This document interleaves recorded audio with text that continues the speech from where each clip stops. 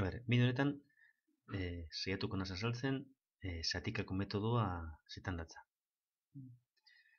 Bueno, eh batzutan eh integralak egiterakoan aurkezten gara, aurkitzen gara eh berealakoak ez diren integral batzuren aurrian eta, claro, formula horiek ezin badugu erabili, ba, metodo desberdin bat, desberdin batzuk eh erabili bera izango ditu. E, metodo honetan, e, egiten duguna da, integral barruan dagoena, ba, biderkaketan moduan separa funtzio bat, funtzio bat u, eta beste funtzio baten diferentziara o derivatu izango da.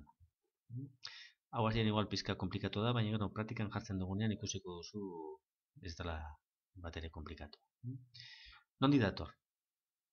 Berez, bi funtzio uki eskero, ux eta fx, u bider v e, funtzioaren diferentziala o derivatua, ba, birekaduraren derivatua, dala, lehenengo derivatua bider bigarna derivatu barik, gehi, lehenengo derivatu barik, bider bigarna derivatu. Eta, u dv bakantzen badugu, hause bestaldera pasata, geratzen da, u dv berdin, diferentziala u bider v ken v de dugu. Eta doan, hemen integralak hartzen baditugu, geratzen da formula hau. Vale? Integral u dv berdin u bider ken integral v du. Hau, gogoratzeko, letra guztia gogoratzeko ordenean, esaldi hau, alduzue gogoratu. Un dia bi un viejo vestido de uniforme. Eta lehenengo letra kartuta idazten dago. Bueno, beraz, hau da, erabiliko dugun metodoa kasu batzuetan. Nik apunte hauetan banatu ditut kasu horiek irutan. Vale? Piskat zeue, piskat argia hau ikutzeko. Hmm? E, kasu gehiagotan, eh? baina ikusiko ditugun guztietan eh, ari izango dugu sartu, edo A kasuan, edo B kasuan, edo C kasuan. Vale? Lehenengo beralakao integrala izateko, isak sobran egotia e, bidertzen egon behar dira e, isa hori. Vale? Bueno, ba, kasu honetan, sobran dagoenari, u izena emango, da, emango zaio, eta beste guztiari, integral barruan dagoen beste guztiari, deu. Eta bendako adibide bat. Hmm? Gero, beste bideo batean, e, ikusiko duzue, nik eginda eta salduta pausuz pausu be, e, integral bardin. Hmm? Bueno, hause integrala, hartzen dugunean, jo behar dugu, ea beralakoa dan edo ez. Eta orduan, logiko nahi izango zen, pentsatea integrala dela eber u u prima dxena. Horretarako, u izan beharko zen x. Beraz, u prima izan beharko da bat. Baina, hemen, x bat dago bidertzen, sobran dagoena. Beraz, ba, sobran daukagun hori, ba, horreri u izena dituko dugu. Eta beste guztia, dv. Tarduan, Formula honetan, U, DV, U, V eta VDU agertzen direnez, ba, bi hauekin kalkulatu behar dira besteak. Hau da, U kalkulatuta, emondamen, kalkulatuko dugu zenbadan DU, eta DV hartuta, kalkulatuko dugu zenbadan V. Utik DU-ra deribatzen dugu. Eta DV-tik V-ra integrala egiten dugu. Hmm? Horrezetxik, DV-ren integrala, izan behar da, integral beralako bat. Orduan, kasu honetan, sobran dagoen nagaratu gara x dela, beraz, u berdin x egingo dugu, eta dv berdin eberrekiz dx. Orduan, hause deribatuz, du izango da, ba, bat izango zen, ez, bat bider dx. Eta dv, denez, eberrekiz dx, honen integrala, beralakoa denez, eberrekiz. E, zatikako metodo aplikatzen dugunean, importantena da, dv aukeratzen dugunean, dv-ren integrala jakitea egiten, bestela ezin izango zen. Eta orduan, zer ingo gorain? Aplikatu formula. Bai? Integrala hau, berdin, u bider v, hau da, x, eberrekiz, x, eberrekiz, ken, integrala, v, du, eberrekiz, dx. Orduan, azerako integrala, eta integrala hau, ba, espero da, beti integral hau errezago izatia. Eta normalean, bat edo bi aldiz aplikatu ondoren metodoa, beti urdeten dau e, integral beralako bat. Orduan, eberrekisen integrala eberrekiz denez, baita zen dugu, x eberrekiz ken eberrekiz gehika. Orduan, amaituta dago ariketa. Hmm? Amengo ekiza, tamen berretzen dagoena bardina birenez, ea beralakoa dan edo ez begiratzerakoan, u, x hartzen dugu, eber u, u prima de x e, dalako e, posiblea, eta gero, sobratzen dana, x denez bebai, amen, u, x hartzen dugu. Ez dauke zer ikusirik amengo u, amengo uarekin. Vale? Kasualidades urten dira bardinak.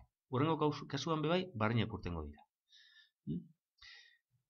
E, integrala, bi x berriru, e ber x karratu de x. Bueno, berelaiko izatekotan, berriro izango zen, hau integrala. Orduan, u da eren berretzailea. Eren berretzailea x karratu. Beraz, u x karratu bada, u prima bi x. Badaukagu bi x, baina daukagu bi x bider x karratu. Hau da, sobran daukagu x karratu. Hmm? Orduan, sobran dagoenari u izen emon behar dugu. Beraz, u x karratu izango da, eta dv izango da x karratu kenduta ametik, geratzen dana, hau da, bi bider x e ber x karratu dx. Bi bider x e ber x karratu dx. Orain, honen derivatua bi x denez, ba, du izango da bi x dx, goratu d da diferentziala, eh? Piskat derivatu erantzekoa dela, baina apur bate mazi txiki badauko. Eta dv bi x e ber x karratu dx bada, Claro, amen integral hau bai da berelakoa, ze justu da, amen dagoenarekin egiten dana, ze justu kendu diogu sobratzen sana. Beraz, honen integrala da eber x karratu. Eta orain, integrala hau izango da, u bider v, x karratu, eber x karratu, ken v de du. Ba, bi x eber x karratu de x. Integral hau, lehenko modukoa denez, ba, berelakoa da. Eta da, eber x karratu. Eta baina baitzen du. Hau da, lehenengo kasua. Bigarren kasua. Bigarren kasuan, da, integral barruan, logaritmoak, arkotangenteak. Edo, beralako integraletan agertzen ez den funtzio bat daukagunean, hori gertatzen denean, guk pentsatu behar dugu, beralako izatekotan, kasu bakarra izango zen uber n izatia. Vale? saiatzen gara hori egiten, eta espadal berelakoa, orduan satikako metodo aplikatu behar da. Bai? Eta satikako metodoan, u izango zen funtzio hori, osorik. Eta dv geratzen dana. Beti kontrolatuz dv-ren integrala ezaguna izate. Hmm? A ber, kasua. Nepertar berriru x, zati x de x. Bueno, beralako izatekotan, nepertar agertzen denez, ba izango zen uber n, hau da, uber iru, bai? Orduan, u nepertarrek izan behar da. U nepertarrek bada, u prima da basati x, justu, hemen dagoena, bat zati x. Beraz, bai da beralakoa, hau da, u berriru, bideru prima. Orduan, u berlau, zati lau izango da integrala, hau da, nepertar berlau, zati lau, geika. Kasunetan, ez zaio aplikatu behar zatikako metodoa, Vale? Naiz eta logaritmo bat agertu. Beraz, ez da automatikoa. Hm? Beti saiatu behar da, ea perlakoa dan konprobatzen. Eta olako kasuan, beti da UBRNren formulan ea sartzen dan edo ez. Bigarren kasuanetan ja, ez da sartuko. Orduan, x nepertar x dx, e, UBRN izatekotan, izango zen UBER bat, nepertarra izango zen U, U prima basati x, eta hemen ez daukagu basati x. Vale? Baten bateki aldau izan, bueno, ez dago basati x, baina x daukagunez horrek izan nahi dau, x karratu sobran ditugula. Ze, x eta x karratu zati x gauza bera denez, x karratu sobran dagoela. Bueno, hori egiten badugu, hm, sobran dagoenari aurreko metodoan, aurreko kasuan, e, gertzen zen aplikatzen badugu, e, lortzen dugun integrala, bigarren pausuan, askoz komplikatuago dago baino, izango da. Beraz, logaritmoak ako tangenteko olako funtzio bat agertzen denean, u beti da bera. osorik, bai? Kasu honetan, u izango da nepertar x, eta dv, ba hori kenduta, x dx. Honen derivatua basatik ez denez, ba du da basati x dx, eta honen integrala, gogoratu, x karatu zati bidala. Idazten dugu, u bider v, mm? bider v de du, eta hauek bidatzerakoan, x karatu x-arekin simplifikatzen dugu, eta gatzen da x biren. Hmm? Honen integrala, izango da, x karratu zati lau. Gogoratu, zatitzen dauden zenbakiak, integratzerakoan, santitzen mantentzen dira. Orduan, integratzen dugu x karratu zati bi, eta zati bi denez, ba x karratu zati lau eratzen. Vale? Beste honetan, gauza bera. Hmm? eh, x nepertar x karratu, kau, u ber bi izatekotan, u prim basatik izan behar da, basatik ez dako agunez, u nepertar guztiak, hau da, nepertar berbi hartzen du. Vale? Eta dv x dx. Hemen dipini, nepertar u eta berbi kanpuan ez ez osorik hartu behar du.